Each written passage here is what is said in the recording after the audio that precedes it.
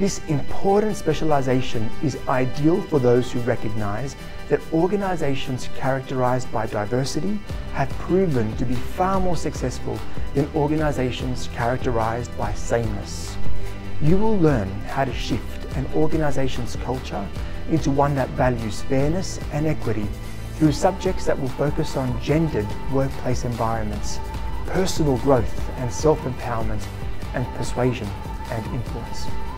Whilst there are many career opportunities available to general MBA graduates such as management and consulting, with a Women in Leadership specialisation, a graduate could choose to become a corporate leader, a diversity manager, an executive coach, or even a senior business consultant. In order to demonstrate the ways in which academic knowledge is applied in the real world, we invite industry guests to every subject every trimester at every campus.